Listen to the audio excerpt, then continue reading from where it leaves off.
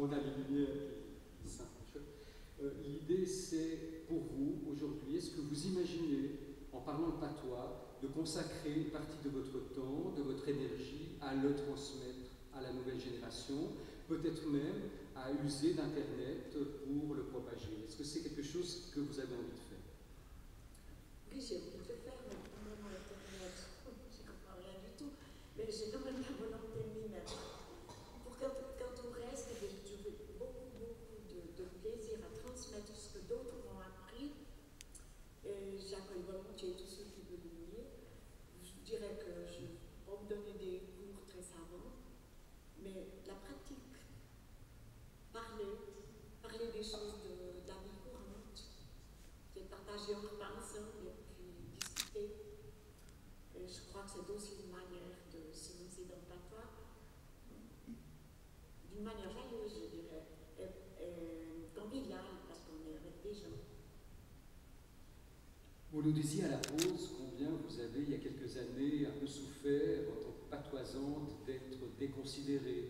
On vous disait, bah, venez parler le patois dans les MS ou venez parler euh, du patois dans des, dans des lieux qui ne sont pas les lieux de tous les jours et qui ne sont pas les lieux publics, comme euh, on, on, aurait envie euh, que ça se pratique.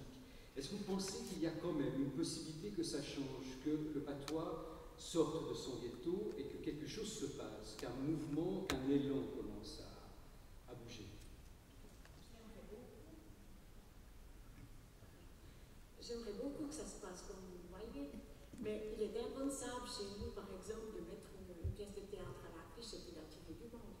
On aura peut-être une vingtaine de patoisans et c'est tout. Tandis que dans le canton Fribourg, ça se fait couramment tous les hivers.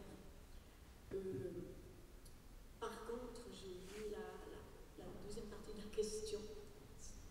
Oui, imaginez que vous pourriez user de nouveaux outils pour transmettre ça. Vous dites, euh, on n'a pas besoin de savoir euh, pratiquer Internet pour, pour s'y mettre, puisqu'il y a justement des jeunes qui peuvent le faire avec vous. C'est une question vraiment de, de transmission euh, au-delà du cercle patoisant, peut-être. J'espère que ça va aller dans ce sens, parce que c'est important, et puis tout ce qui peut promouvoir le patois est bon à prendre. Un appel est donc euh, lancé. Fanny Charmet, par ailleurs, vous pratiquez à Zurich des études de dialectologie. Est-ce qu'il y a un lien, je vous pose cette question maintenant pour achever un peu ce débat, est-ce que la dialectologie, c'est-à-dire l'intérêt universitaire pour les patois pour les dialectes, est aussi une perspective d'avenir pour ces langues Oui, tout à fait. Euh, alors, une perspective d'avenir pour intéresser les gens à parler le patois, je ne sais pas, mais en tout cas, il y a de la matière pour les linguistes à, s'intéresser.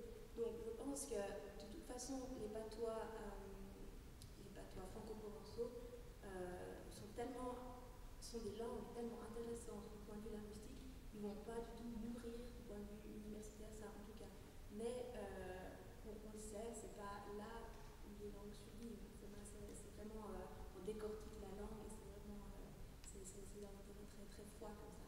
Mais, mais c'est vrai que c'est en tout cas un endroit où ça, ne risque pas de mourir. Donc déjà un point intéressant à souligner, donc intérêt universitaire dialectologique pour les patois. J'aimerais peut-être euh, en conclusion euh, tendre le micro à Gilbert Couta pour se poser la question que vient de soulever euh, M. Mounir en disant combien dans notre pays une survivance d'un patrimoine immatériel comme le patois, puisqu'on s'est penché sur cette question dans cette table ronde, est affaire privée. Quand elle n'est pas privée, elle est parfois affaire cantonale, mais en tout cas pas affaire fédérale. Est-ce qu'il y a un problème? Est-ce qu'on ne doit pas aussi, du côté politique et du côté euh, des institutions, se préoccuper de la survie du patois, Gilbert? Je crois qu'à travers cette journée, le fait d'avoir lancé la thématique je reviendrai dans les conclusions sur ce décloisonnement des patrimoines, mais ça traduit au sein de notre groupe, qui est fondé en grande partie de gens qui travaillent dans les institutions, d'une réelle préoccupation, mais c'est une préoccupation diffuse dans le sens qu'on embrasse de manière large le patrimoine, on se rend bien compte, comme l'a dit Madame Charmel, des, relations entre les linguistes, la dialectologie et les phénomènes patoisants. De notre côté, c'est aussi de préparer les conditions d'accueil et de transmission. Je pense que c'est un élément fort pour les institutions. Notre idée, c'est d'être des intercesseurs et des intermédiaires dans la connaissance. Donc toujours avec cette idée que nous devons être à l'affût d'éléments d'intérêt nouveaux ou d'éléments d'intérêt qui s'avèreront nouveaux dans 10, 20, 30 ans.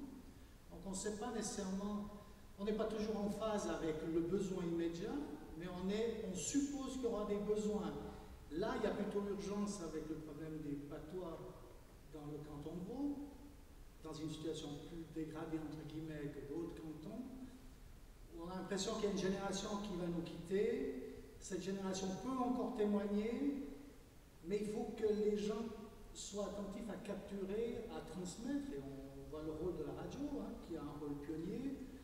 Euh, le pouvoir euh, n'anticipe pas nécessairement ces problèmes. Donc nous, on sert aussi d'aiguillon, et une association comme la nôtre aujourd'hui, comme avec cette publication, fait un constat, fait un premier élément, je crois que ça a d'ailleurs frappé nos, amis du patois, que les universitaires ou euh, des gens, des institutions viennent à eux. Et je pense qu'on est dans un rapport qui existe depuis longtemps.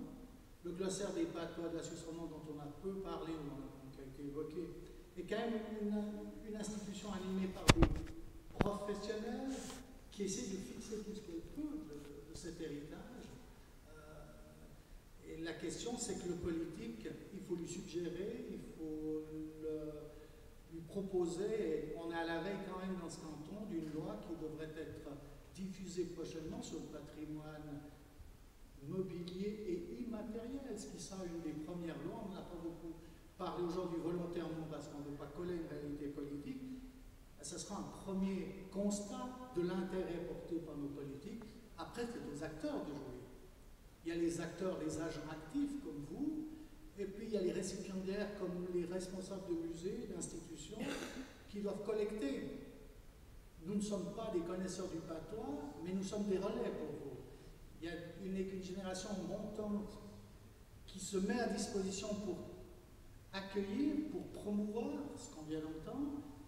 Notre souci, c'est de fixer aussi rapidement que possible, mais retenons quand même ce message je crois qu'il est juste de M. Crétin, c'est à la fois transmettre pour permettre de recréer, de revivre dans quelles conditions, mais ce n'est pas pour muséifier ou pour euh, simplement enfermer dans des boîtes d'archives. Un domaine d'archives est toujours vivant quand un regard se porte sur les documents. Mais il faut qu'il y ait aussi une rencontre entre des utilisateurs et des exploitants. Et les Égyptiens continuent à témoigner alors pendant des siècles, on n'a pas compris, ou plus compris leurs écritures. Ils avaient laissé une trace, les clés sont, ont surgi beaucoup plus tard.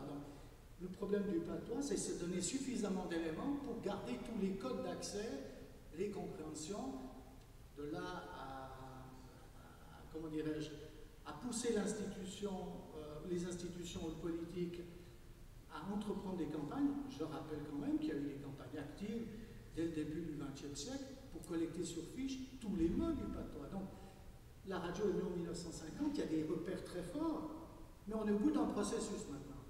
Il y a certaines urgences, mais on ne part pas quand même avec un vide complet. Au-delà de la disparition des personnes, il y avait quand même un certain nombre de choses fixées. Et ça, c'est un, des défis, ce sera de pouvoir comprendre après coup, les dialectologues, linguistes et la perspective historique, situent bien euh, où on peut intervenir on a le témoignage sonore, qui est quand même une chose nouvelle qu'on n'a pas eu pendant des siècles. On a quand même ce qui fait la qualité de cette langue. À nous de créer les conditions, en tout cas, d'accueil et d'études possibles, et possibles encore longtemps au-delà des témoins. Monsieur dire juste une réaction. Après, je passe la parole à Monsieur Furet et on terminera ce débat. Merci.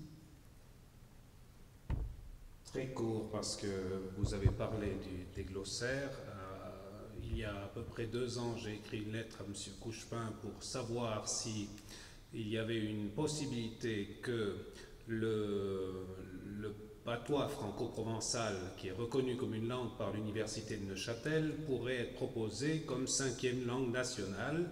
Est-ce qu'il y avait un seul politicien en Suisse qui aurait déjà proposé cela?